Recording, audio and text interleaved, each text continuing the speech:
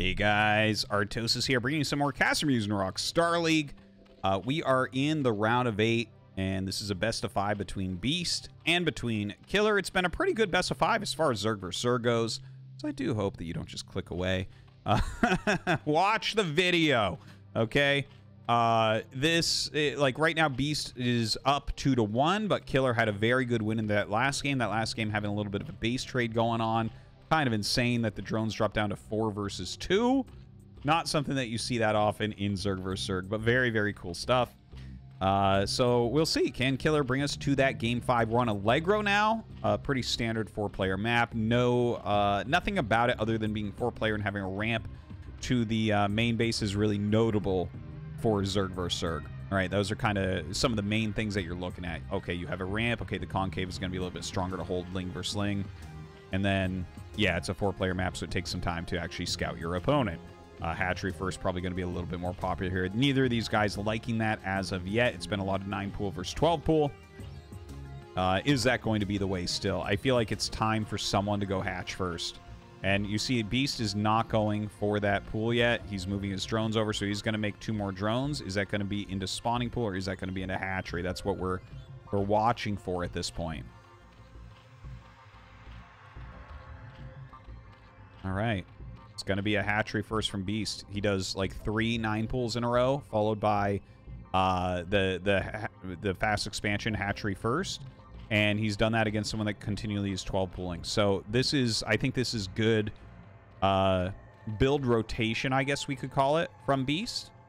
I think that this is very brainy. Uh, you've really set yourself up as the aggressor. This is a map where it could be harder to aggress as well. Like even if this was a nine pool speed, from Killer, you have to travel cross map in these particular spawns, and that makes it take a lot longer. It makes it a lot harder to do any real damage. Uh, and those those few seconds really, really, really do matter at high levels, guys. I it, it, when I like when you're lower level uh, as a player and everything, it might seem like, but wait, that's only like four seconds. That's not that long. It's like dude, that's that's a huge amount of time at this level. Uh, and the builds and the responses actually change dramatically when players are cross map as opposed to closed spawns. In fact, like when you see maps uh, that are being added into tournaments for like pro gamers for ASL, right below the map it always tells the time between spawns because that dictates so much of what builds can be used and and you know how the game is going to play itself out. Anyways, enough about that. Layer coming up here for Beast.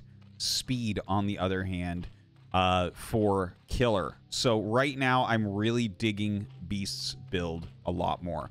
Right, so he got the quicker hatchery, which means he's going to have slightly more larva, and he's getting the faster layer, right? Not by a lot, and he is getting Zergling speed, but these little things that make little differences in Zerg vs. Zerg well, that's what Zerg vs. Zerg is. You get these little tiny edges and you see what you can do with them. So looking at the situation, he is up two drones right now. Is that going to be too many? Uh, I don't think so. I think he's going to be fine. Again, cross map. He's making a lot of Zerglings right now. As long as he continues to pump out Zerglings from these hatcheries, I don't think Beast uh, or is going to be broken here from Killer. Lots of Lings sitting in that natural speed finishing up for his opponent. So it's 10 lings going up against 12 lings. You can't really do anything there. One ling was waiting on the side. That's a cute tactic, right? He attacked with 11 lings on this side, had one ling that he wanted to run up to get like a full scout, maybe harass slightly, make his opponent send two lings after it. That's a thing.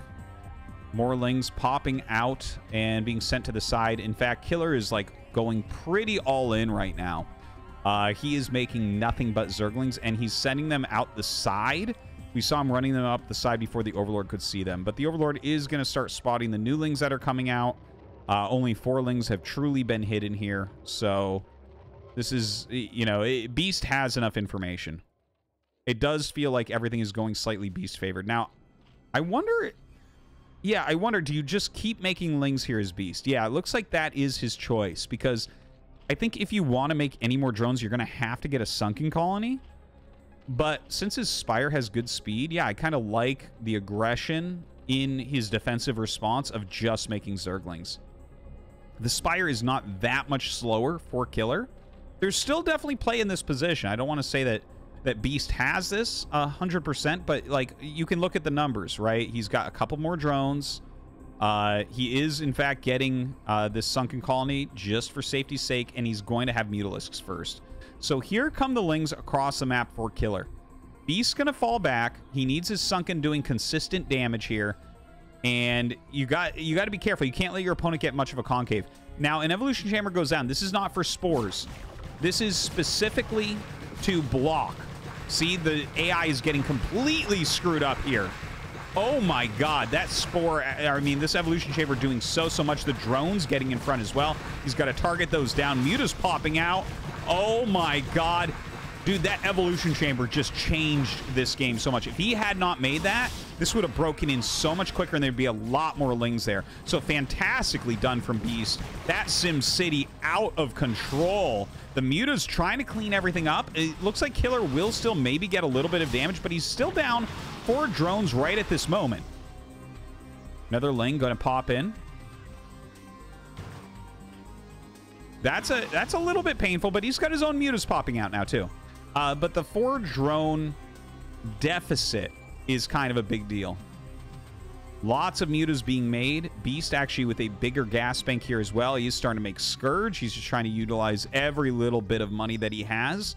Uh, because, you know, he's if he uses this drone advantage right now and hits very hard, he might do something like have the same amount of mutas, but like four more Scourge than his opponent, six more Scourge than his opponent, something like that.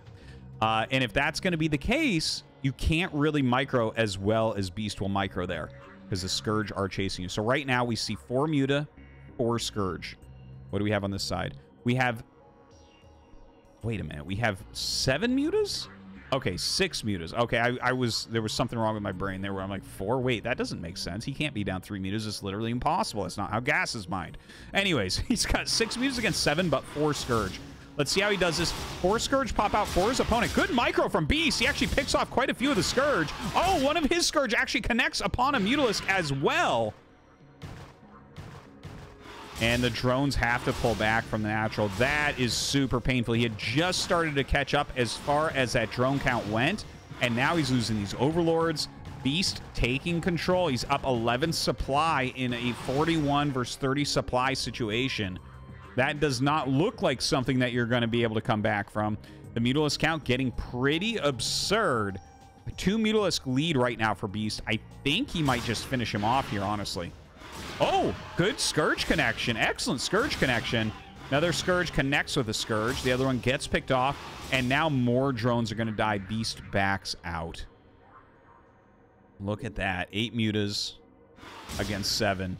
It is full health mutas, but he's losing a lot of drones as well. It's 8 against 15. He's got to make something happen. He's got to make it happen now. Killer having a hard time actually finishing that off.